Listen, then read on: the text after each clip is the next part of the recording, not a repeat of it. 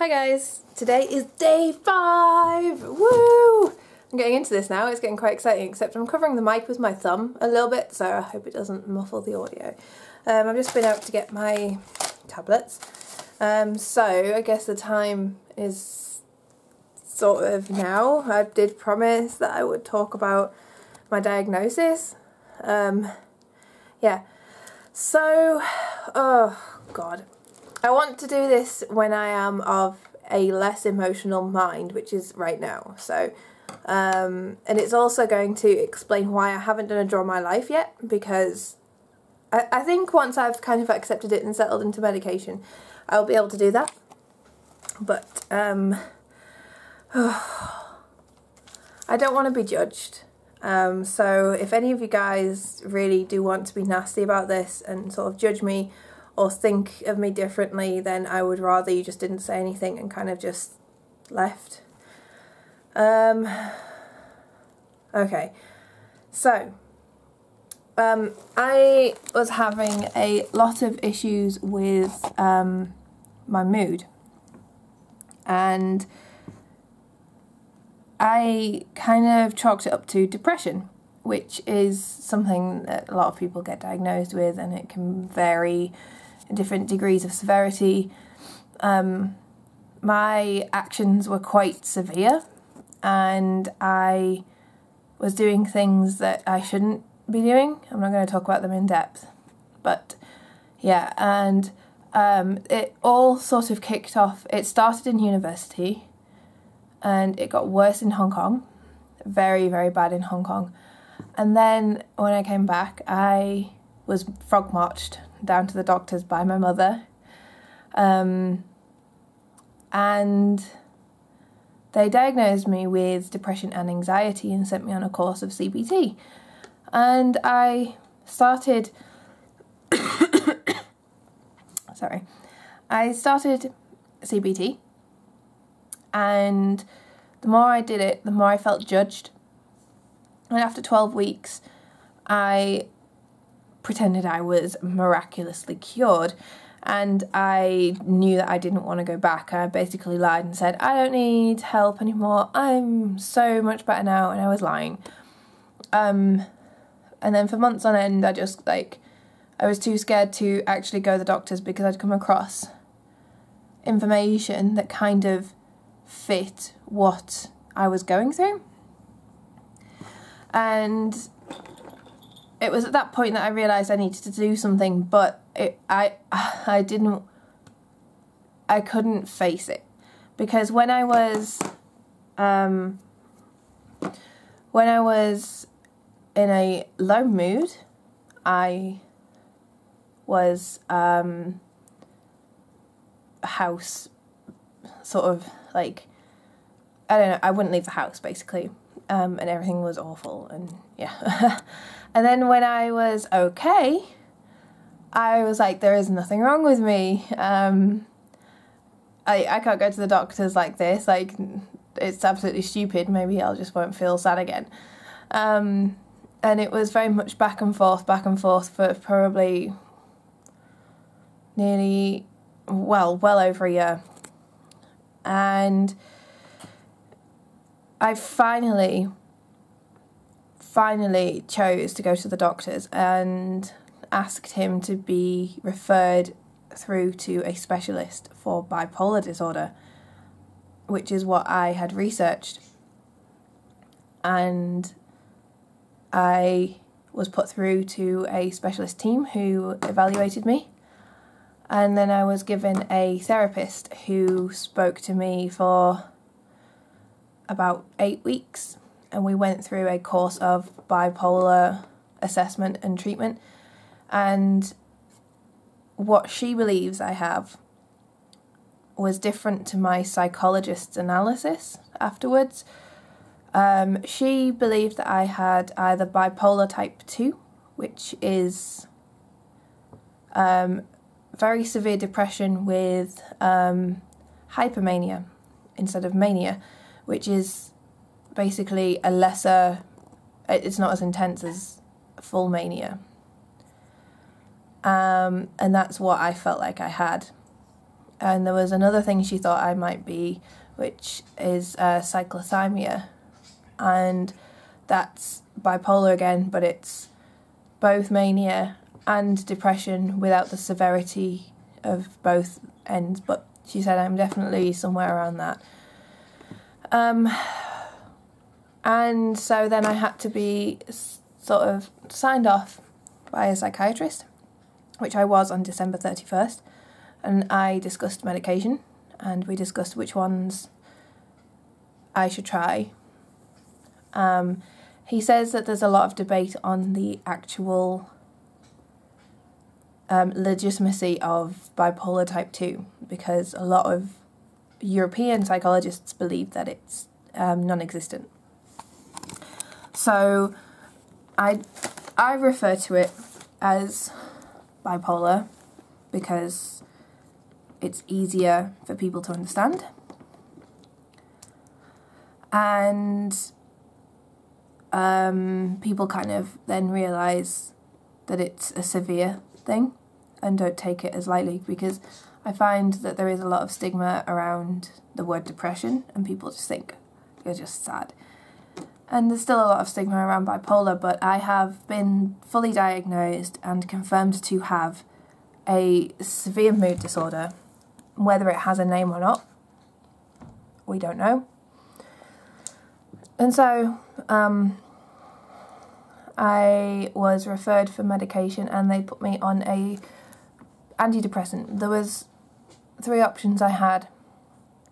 A mood stabilizer for bipolar disorder, an antidepressant, or both. And I said that I wanted to start off with the easiest medication. Um, so he put me on a um, a prescription for sertraline, which is an antidepressant. And for the past two months, I've been on it, and it's been hell on earth. And I started with tremors and anxiety, and then I got just every side effect under the sun, and I couldn't get up in the morning. It was making me drowsy. I couldn't do it.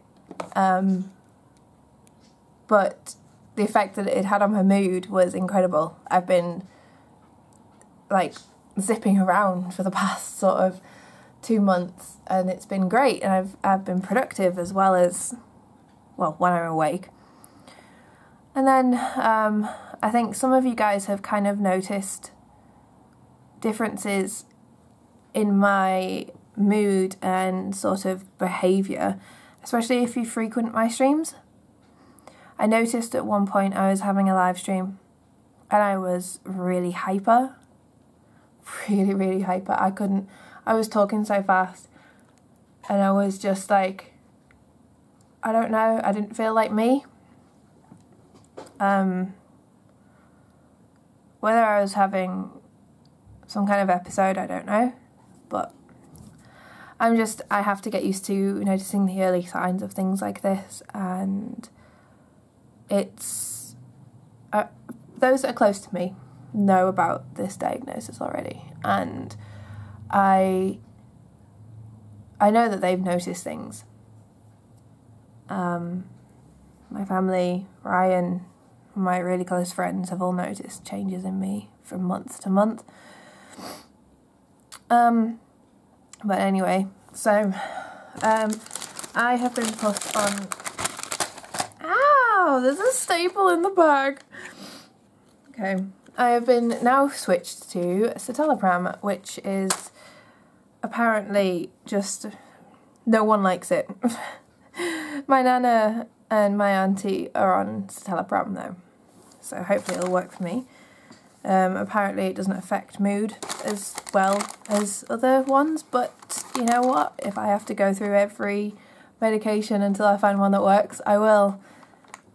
It's it's just gonna it's gonna be awful, and I don't think I'm gonna read the side effects of these this time because um, I did with sertraline. And I was warned, I know, don't read the tablets, don't read the side effects, and I did. Don't do it, guys. um, so we'll see. But anyway, Um, I don't really want to talk about it anymore because I'm a bit uncomfortable telling you guys as it is anyway, and I hope that people can be supportive, or if you can't be supportive, then just ignore it and don't say anything. I know there's a massive stigma attached to that word. Um, but yeah, so that's what's going on with me. um, if any of you have any questions or anything, um, if you think you're going through something similar and you just want someone to talk to, then please, please message me. If you need to talk to someone, please, I am here. Drop me a YouTube message or Twitter DM or anything, just or email, whatever. Um, might take me a while to reply sometimes, but just so you guys know that you're not alone. You're not. You, you think you are, off, but you're not. Trust me, I know how it feels. But anyway, I'm going to stop talking now because I feel dumb talking about this. I just, I hate it. I hate talking about it. I always feel really ashamed and I shouldn't, but I do because I feel like it's a sign of weakness for me personally. But I don't care if anyone else has it and I'm just like, whatever, just coming to terms with a, a diagnosis I think is difficult. But Anyway, happy things. Like, I'm gonna get on with work. Bye. I've just edited sort of like a speed paint version of my live stream the other night for the card Cardcaptor drawing I did. Um, hopefully I could upload this today. Like, imagine if I got two videos in one day. Wow. Anyway, um, I'm just about to head over to my mum's to sort out some business things because, like I said, she's going to be taking over my business. So, gotta go, gotta run. Hey, Rightio, I'm off to my mum's house um, to sort out some business things and uh, mostly sort of like expansion with equipment and stuff. I have to put the blinds down because I need to put the light on for the birds because it might be dark by the time I get back. Because I'm going to go spinning afterwards, so no. I best get my um stuff together like my sports bra and I'll change at mum's house actually. Hmm. Spinning is kind of fun, like I mentioned in my other vlog, but boy is it painful. I'm going to take that panda hoodie, leggings, towel, and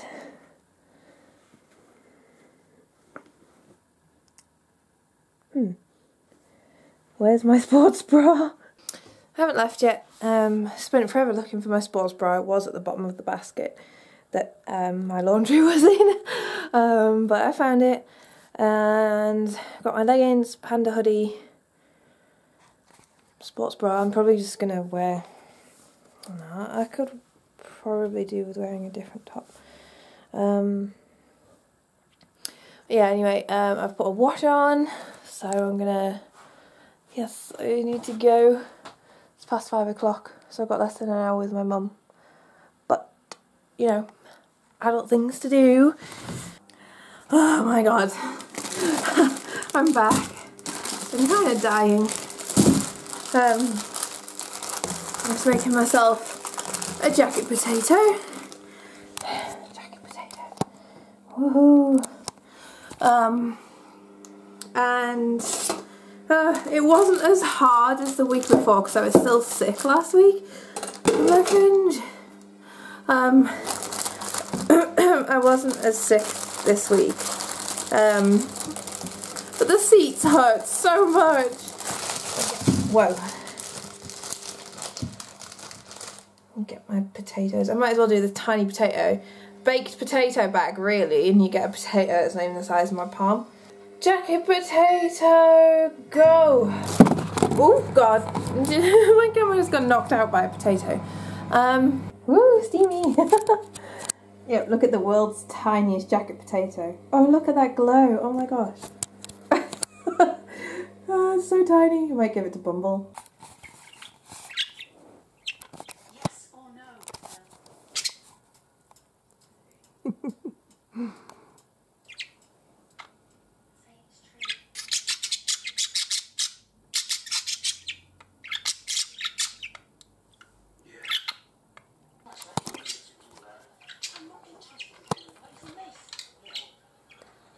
Finishing watching EastEnders now, and then I'm gonna go and set up loads of postage stuff.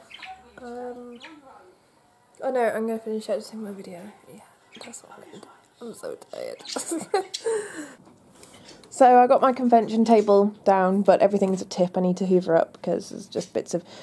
One thing I really hate about this camera, or my carpet, probably my carpet, is that the floor looks really bad on here, but in real life it's not that bad. There's a bit of birdseed and some paper, but because of the dots, it makes it look worse than it is, and I just, uh, I just hate it. I'm just trying to vlog a sketchbook tour. I've just started, and the weather is going absolutely insane. Look at this. This is awesome. This is my favourite kind of weather in the whole world.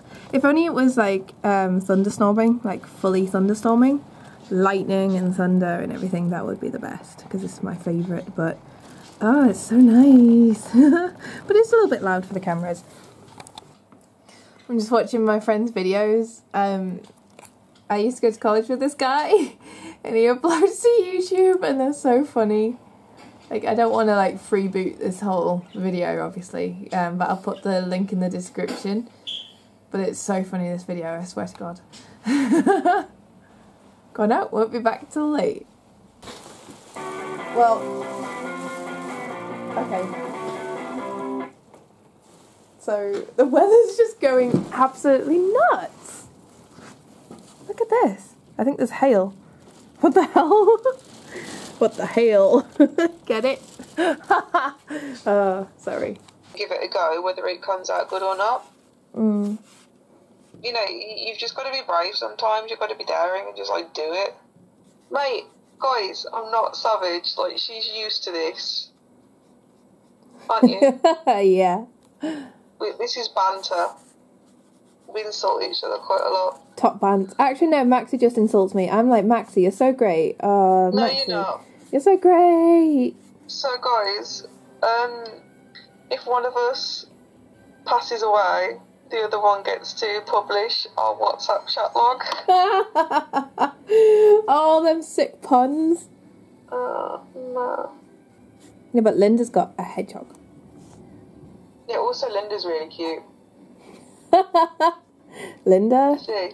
Hashtag smooth. I've just got that on vlog.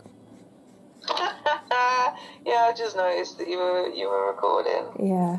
I'm not being, I'm not trying to be sneaky. Joe Quinn. I said I was gonna vlog. Oh man. I'll go wherever Linda. If if there's like a way of me getting there, I will do it. On public transport because I can't drive. Oh, here we go. Hi vlog. Wow. Wow. Spank Maxie, can you stop? You know? I am so editing that in. For you spank Maxie, he would never. she said my name. I'm in the vlog now. Hee Is this actually happening? It is actually happening. Jelly raid! yes. That's too funny. Oh, what's what's uh, Bailey J's Twitter handle? Um, at Bailey underscore J. Look at this absolute sight the morning after a live stream. um, let's get my curtains open. So I've just had some interesting news from um, from um, someone that I'm going to be working with, and it's really exciting. They're really, really exciting. Just get my password typed in. yeah, so I need to tidy up my desk obviously this morning, but um, I don't want to show my face because I just look an utter mess. But I've got some, uh, got a job that I might be working on. Woo! I'm really excited. So yes, definitely, definitely excited. But I can't talk about it just yet. But it should be within the next few days. I'm still covered in green ink as well from last night. and look at this. kitchen roll piece that I used to mop up the green ink on Jade's dress. So I'm just uh, popping over to my mum's house because we've got some business things that we still need to do. And um, yeah, and normally I mooch off her for dinner, but I want to cook spaghetti and meatballs for dinner tonight because we've got some meatballs and I'm so excited to use them. Um, yeah, so I'm going to go over there for about an hour. I had to wait in for my Amazon package or else I would have gone sooner. But um, yeah, I look like a great mess, but I've just got a panda hoodie on and leggings and I'm just like, because my mum lives so close, like I don't, there's no need for me to like mega dress up.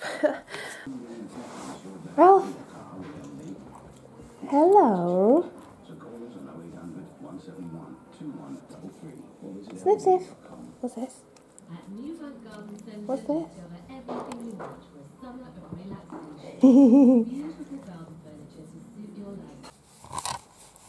you are noisy. You're very noisy. What are you saying? Huh? Hello, beautiful. What are you doing? Boop.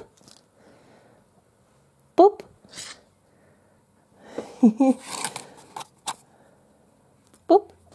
What's this? Look how muzzled you are for your mold.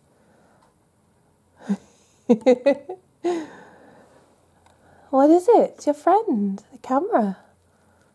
Oh, chicken. You can go go sleep. That one's asleep too. I've got my spaghetti and meatballs, which is what? What was that? What? Anyway, I've got my spaghetti and meatballs kind of exploded on the plate, which looks trays smart. Um, don't know what I'm gonna stick on telly. I normally watch iPlayer. Woohoo!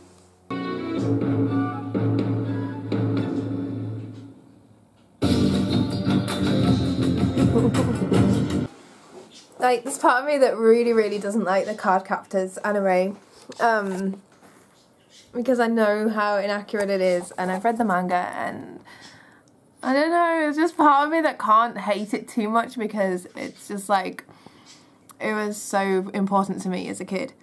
Um but like watching it now it's a bit cringy. It's just like oh like like Tomoyo is called Madison and they've all got like some of them have got like really English names. Like um, what's his name? Yuki is, I think his name is Yuki in the Japanese. I can't remember now.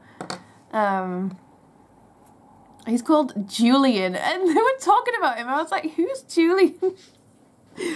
um, but I can't hate it too much because, like I said, I it was my favorite show when I was about eleven or twelve. I just want to draw more fun out now, like, seriously. oh my gosh. Don't mind me, I'm just yawning. See my fringe cutting again. My hair grows too fast and it looks like dirty at the moment. Gross. Um, yeah, I'm going to edit past three days vlogs together because I'm just kind of tired and I need to carry on working and I'm just like, ah, kill me. But yeah, um, don't know how much footage I have got, but I haven't got a lot. So I really apologise, but tomorrow I will make sure I do it properly and get everything sorted and yeah. um, because on Saturday I will be migrating over to my vlog channel. Woo! Anyway, um, yes, thank you for watching the past few days, guys, and I will see you guys tomorrow.